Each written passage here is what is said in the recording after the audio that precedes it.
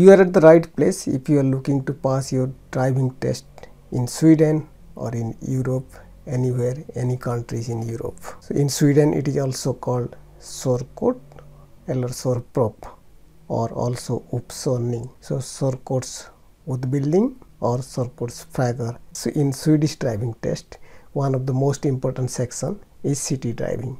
And today in this video, all the possible dangers of city driving pointing out all the important tips and tricks. There are numerous topics will be covered in this video so don't skip any part of it because Swedish driving rules including parking, right hand rule driving, driving in residential areas, left turns, right turns, changing lanes, selection of lanes, pedestrians crossing, major roads, what are the speed limits and many more. So without any further delay let's go to key to DL means key to driving license. Welcome to key to DL for another interesting video and this is all about city driving so that you can so that you can enjoy this video and learn about city driving and pass your or take your Körkort. Likatil for your Körprov. So when you take your car out of a parking space in a residential area, you need to be very very careful about many things. Come outside and check to make sure your surroundings are clear because kids are often unnoticed with cameras and mirrors. Check all the mirrors, indicate and slowly exit. Make sure you check your blind spot while you take the exit or while you take the left turn or right turn or go from the parallel parking. In order to learn more about how to pass your driving test or how to become a safe and risk-free driver, watch this video until the end.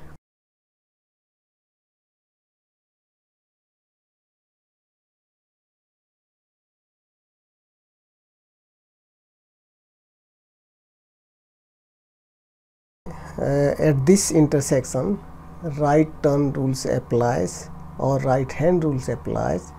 As you can see the visibility is poor. Go slow and take it easy in this scenario. Now after this turn after this intersection I am planning to make a left turn. And you can see the give way sign there. So place your car as I am placing here and I am joining into a major road. And there are car parks on the right hand side. There could be kids or pedestrians suddenly appearing along the street. There is also a car in front of it. Therefore go at a slower pace. Due to the front car this is an interesting situation. So the question is if you need to follow the front car or if you will have to wait. To sum up the answer to sum up, the answer is not to follow the front car, but to perform your own verification first. In other words, if the front car makes a mistake, then you should not follow it. This is very important from the point of view of an examination as well as for safe driving. Crawl at first, then move little bit ahead and then see if everything is clear then you started moving you start moving now it's interesting look ahead there is a pedestrian passage but many people use it as a bike path. While you don't have to give way to cyclists in this actual rule or actual Swedish driving rules you should not or you don't have to give way to the cyclist in this scenario. But you must stop for pedestrians. But at the same time be ready to stop if needed. But in general you should go slow with the go a little bit slow so that bike or cyclist can pass. Now that I plan to take right turn at the next junction, I should first change lane to the right side. However, the right lane is a bus lane. So you need to be extra careful there are because in this lane there are taxis and uh, uh, all the private taxis as well as bus or all the public uh, public transport vehicles they come they usually come in this right lane. So don't change lane suddenly. Check or do your verification and then you change the lane. In the place where you change the lane is you can see there is a bus sign or bus lane on the on the road and after that one you can change the lane. Therefore you can choose a lane after you see the sign where you are permitted to go there check the mirrors blind spot indicate and move. It is also important to know how to position your car. Always stop your vehicle a little behind the traffic signal so that you can see it clearly. If you move near to the stop line then the traffic light can be difficult to see. So wait little bit behind to the stop line as soon as you pass the junction stop your indicator immediately otherwise you will confuse the following cars. And confusion means it is the risk for the other cars or the surrounding. There is a road on the right hand side and that joins just after the junction. So following drivers may think that you are or you want to take another right turn if you don't stop indicating right away. You should practice stopping your indicator just after a junction. This is not a major road. There is a pedestrian and a bike path parallel to parallel to it. You don't have to worry about the speed limits, but you need to be very careful of the pedestrians and cyclists as well and the right hand rule. Along the way, you will encounter a number of shopping complexes and the parking lot. For all of them, all the vehicles coming from the parking lots for them it is exit rules apply. Okay let's move on. Please please see this. It's a big risk the boss is joining but that is not the risk or not the big risk from the left hand side of the road visibility is poor and here is a pedestrian. It gets easily unnoticed and that's a big risk so if you don't notice in your driving test then it must be go wrong from your side so if you don't notice any pedestrians anyhow in the city driving that is a big risk. And this is how you should behave in this situation. There must be a natural braking and you must brake 10 meters before the pedestrians crossing to let the pedestrian know that you are waiting to pass. Do not crawl. Do not crawl. I am repeating again do not crawl. Just slow down and stop but a com come to a complete stop. It is often misunderstood that many drivers crawl and that causes confusion to the pedestrian. Otherwise, you have to have an eye contact to the pedestrian so that you pass signal or you have a mutual understanding among each other. Now there is a bus stop and there is a bus stopping there and dropping and picking up passengers and this is one of the most crucial situations how you handle in these situations. And you must know how to handle it and how to how to drive in this how to drive perfectly in these situations. Be very careful when near the bus stop. Many pedestrians run to catch the bus or want to switch buses from buses on the other side. Therefore you should wait and leave the bus first. Observe the pedestrian's behavior and then move slowly. In this type of situation, don't get in a hurry. It is extremely dangerous during the winter and in the dark when some people they don't wear the reflectors or the light and it is very hard to see and locate them so don't be in a hurry near the bus stop that is the that is the takeaway from this this type of situations there is an upcoming situation for the lane selection and this is very interesting and I would like you to pay close attention and my plan is to make a left turn at the upcoming intersection. See the lane signs? It is not visible until you get very close. It's because it's hiding under trees. When you want to make a left turn or go straight, select the left, left lane and when you when you are going to make a right turn, select the right lane. Generally you find this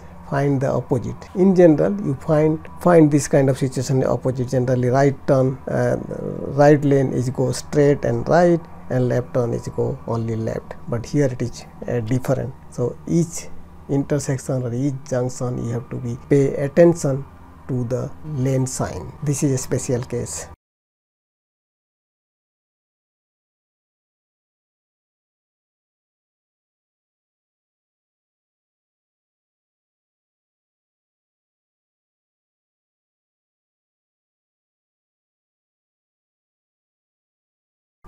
now I plan to make a right turn at the next intersection or next junction. There are parallel bike roads one up. And in this situation parallel bike roads are one of the risks. If a traffic light goes green it is most likely also green for the cyclist and the pedestrians in almost almost the same time frame so watch out for the blind spots before making a turn here. Very careful about pedestrian and the cycle crossing. And now there are trees on both sides of, of this road. Therefore lot of shadows. It is thus difficult to see clearly for pedestrians and cyclists. Therefore even if it's a major road with a maximum speed limit of 40 km per hour go slightly slower to avoid any risks. There are a lot of uh, pedestrian crossing where you can see or where you can observe lot of cyclists can cross. Okay from the next junction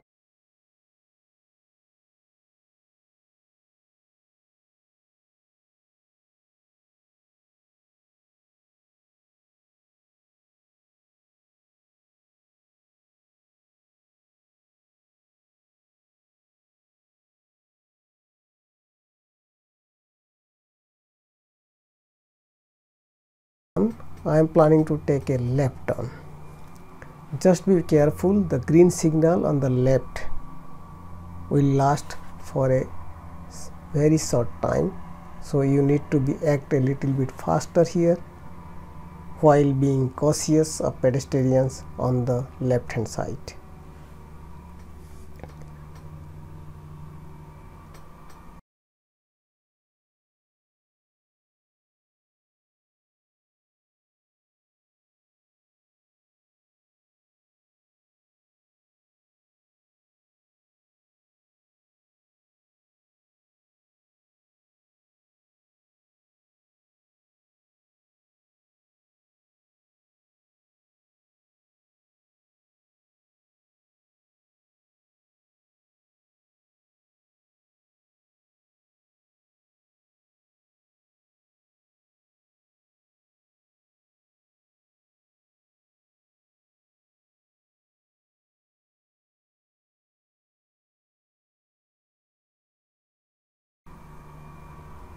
so here is another interesting section of the road. The speed limit is 30 km per hour. Maximum speed limit is 30 km per hour but it's a major road with priority signs and with lots lots of junctions and many pedestrians crossing. You should drive cautiously on this type of road.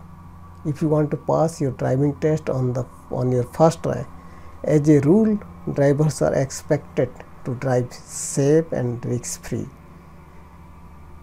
If the examiner will see that you are not driving safely or you are not driving in a risk free manner, then you are not going to pass your driving test.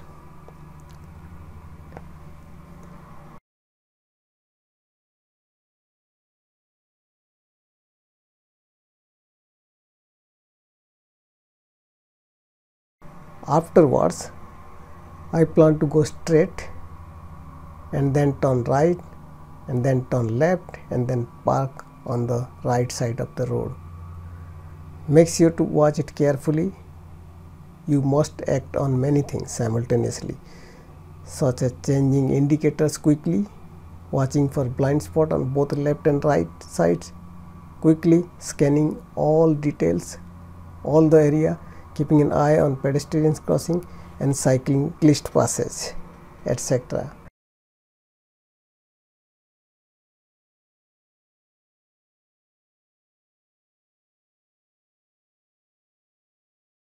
Now the parking. A good parking tip is to maneuver slowly so that it's easier that so that it's easier to fix and this is it I hope you enjoy this video and you learn something new about the city driving and about the different types of risks and how to handle different type of risks so please give it a thumbs up. If you don't like or you have some concern or comment then please write it below. It is very important for us to receive your feedback. It doesn't matter if it is positive or negative thanks for watching and i look forward to seeing you in another interesting video soon and i wish you all the best for your Körkort or Körprov till then bye hey do and have a nice weekend